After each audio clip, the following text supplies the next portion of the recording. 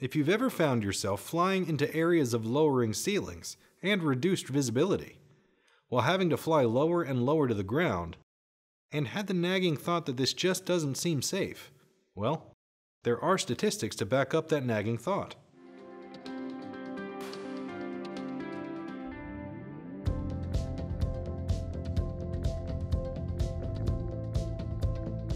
Controlled flight into terrain, or CFIT, is responsible for fewer than 5% of all general aviation accidents. Yet it's responsible for 17% of general aviation fatalities. In recent decades, these types of adverse events have averaged slightly more than 100 per year in the US, resulting in nearly 2,000 fatalities each year. A review of available research concerning this hazard makes it clear that CFIT accidents primarily occur due to a lack of situational awareness, and most often occurs when visibility is restricted by atmospheric conditions or darkness.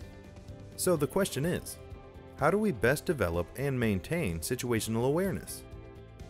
This is an ongoing process that begins during pre-flight planning activities. Anytime you plan a flight at lower altitudes or in areas with rising terrain, it's critical to conduct a review of maximum elevation figures in the area you'll be flying, and to identify any obstacles along your planned route. You'll find these figures on VFR charts as seen here in the Garmin Pilot application.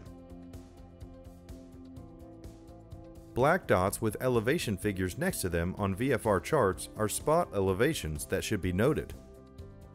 While we all like to fly direct, there are many times when this will not be the safest route due to terrain. It also pays to preview the chart supplement for the airports out of which you'll be operating. Here, we select the airports icon and then touch the airport code field, where you can enter the code for any airport. On the right side of the airport information page, we select Chart Supplement. This is where you'll find information about obstructions affecting the runways, such as the hills located off the end of the runway shown here. When planning for a VFR flight, a thorough review of current and forecast ceiling and visibility for the entire route is an absolute must. Keep in mind that more than half of CFIT events occur due to continued VFR flight into IMC. While there are regulatory minimums for operation in the variety of airspaces, it's wise to establish personal minimums that are higher. A ceiling that was forecast to be near regulatory minimums could end up being lower as many pilots have discovered the hard way.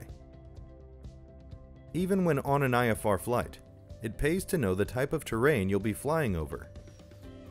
On low altitude charts, you should take note of the off-route obstruction clearance altitude, referred to as the OROCA, for the quadrants you'll be flying through. These numbers are derived similar to maximum elevation figures on VFR charts, but an additional 1,000 feet of buffer is added in non-mountainous areas, and an additional 2,000 feet is added in mountainous areas. To add to situational awareness, IFR pilots can refer to VFR charts for the areas in which they'll be flying. Many Garmin navigators, flight displays, and integrated flight decks can display these charts during your flight so viewing your proposed route on them during pre-flight activities helps to make more effective use of them while en route. Instrument approach charts also contain a great deal of information concerning terrain and obstacles. Selecting the RNAV Runway 1 chart within Garmin Pilot, we first take a look at the top strip, where we can see the touchdown zone elevation and the airport elevation. We can also see a T within an inverted black triangle. This indicates non-standard takeoff minimums, or an obstacle departure procedure is published for that airport. Even when flying VFR, it pays to review ODPs as that will tip you off to a good path out of that airport if you are climb challenged. Let ATC know if you plan to fly an ODP. An A within a black triangle indicates non-standard alternate minimums. A snowflake within a black box means that cold temperature altitude corrections are required when the temperature is at or below the one shown next to the symbol. When it's very cold out, altimeters will read higher than actual altitudes, and without correction when flying near terrain, your terrain clearance will be less than expected. If you see either of these symbols, take a close look at the obstacles surrounding the airport. You'll also find point obstacles showing in the plan view of the chart, and terrain will be depicted when the terrain is greater than 4,000 feet above the airport elevation, and within the plan view area. If terrain rises more than 2,000 feet within 6 nautical miles of the airport, that terrain will also be depicted. Another CFIT avoidance feature on the approach chart is the minimum safe altitude or terminal arrival area depiction. These are published for emergency use and show minimum altitudes related to designated locations and provide at least 1,000 feet above obstructions in the designated area. These should be part of any approach briefing. When the ceiling is low, you always want to be ready to conduct the missed approach. Know that procedure before beginning the approach, and it goes without saying that, unless provided vectors for the missed approach, following the published missed approach procedure is critical. If you don't have the runway environment in sight at minimums, and you've reached the missed approach point, begin the missed approach. With an application like Garmin Pilot on your handheld device, your aircraft will appear on the plan view, seen outlined here in blue, which makes monitoring your lateral position on the approach easy and provides for significant enhancement to positional awareness. You should be aware that while ATC does have software that advises them when an aircraft has obstacles in the path of their flight, there are occasions when the controller or the radio frequency in use may be busy and you may not receive a warning in time to do something about it. In some areas, there may not be radar coverage that would inform ATC of your position.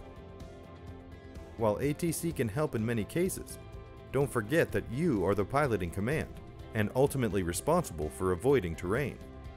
Okay, now that we've explored some traditional situational awareness enhancing techniques, let's take a look at some technology that can greatly enhance your ability to stay aware of your position relative to obstacles.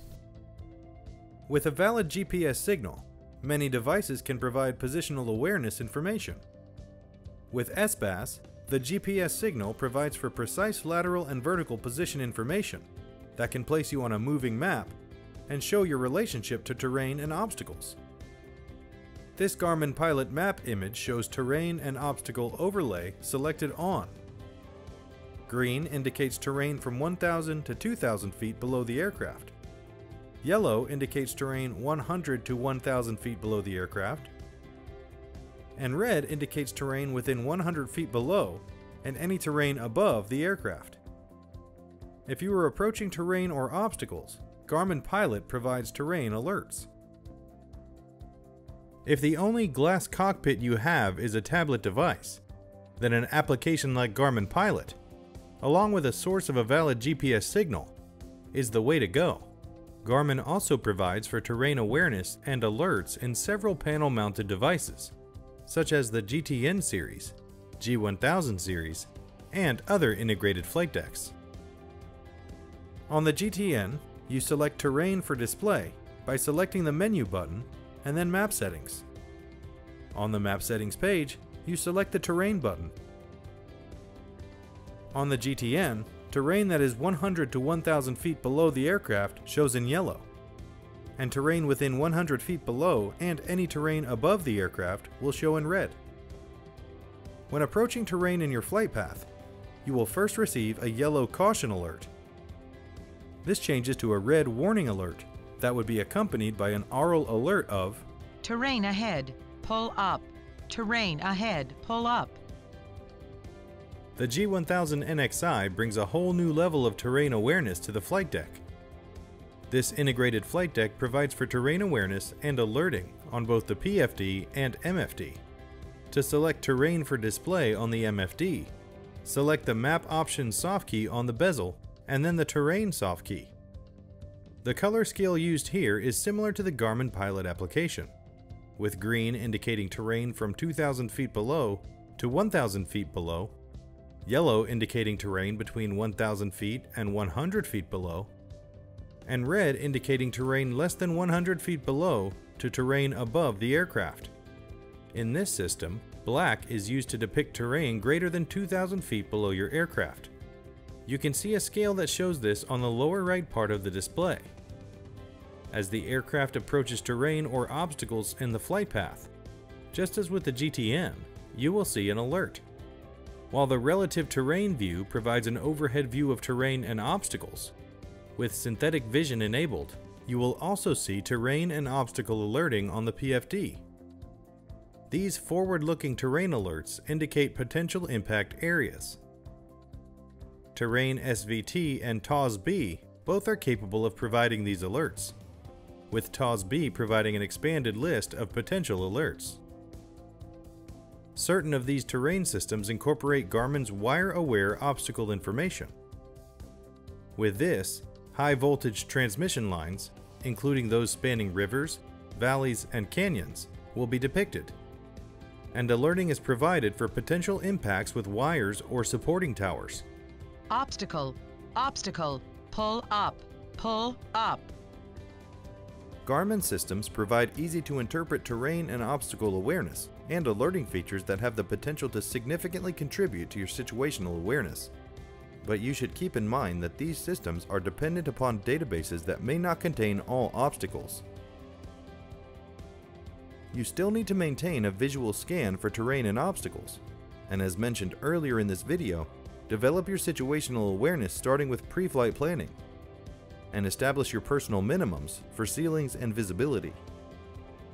If the weather doesn't meet your standards, then the best option is to fly on another day.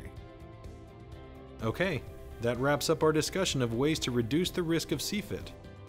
Be sure to check out additional information on this subject in the documents that are linked in the description for this video. We encourage you to continue your safety journey by viewing the other videos in the Garmin Aviation Risk Management series. And thanks for flying Garmin.